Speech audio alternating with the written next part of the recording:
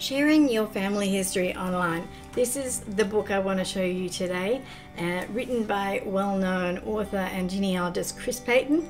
Um, he has written this book to be able to highlight the ways that people can use to share their family history. And I just don't mean by having it on a website and sharing it that way, there are many more ways in doing so.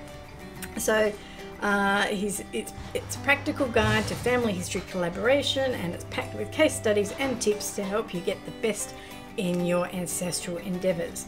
So he covers a whole bunch of different things. So apart from um, uh, using social media, um, which is a big thing, so Facebook, Twitter, LinkedIn, and various other things, image sharing using Instagram, Pinterest, and Flickr using blogs such as Blogger or WordPress to share your stories, um, using virtual meetings or webinars. Obviously, that's become a big thing in the last couple of years. Using Zoom or Skype or FaceTime, um, even Facebook Messenger. Um, he covers collaboration and crowdsourcing. Um, there are many groups that have uh, you know, volunteers or request volunteers to help with particular projects, and quite a lot of these can be done virtually.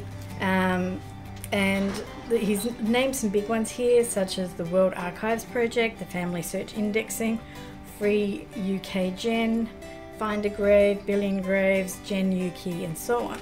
I would add to that list as an Australian, I would say Trove Newspaper Indexing. That is a crowdsourcing project. It's an ongoing one. There's volunteers. People just do it from time to time, and it helps everybody. Every line you you correct helps somebody. So that's a big one.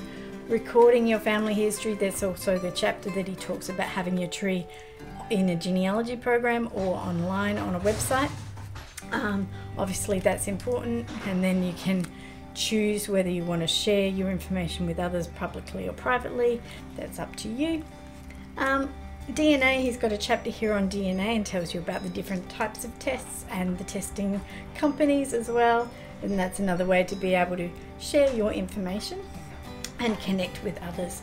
So, uh, another chapter covers sharing and preserving stories.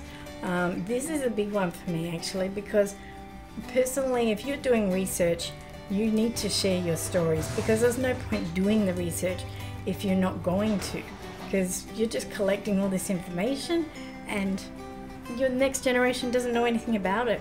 So this in this one he talks about the videoing it and audio um, sharing on websites or self-publishing.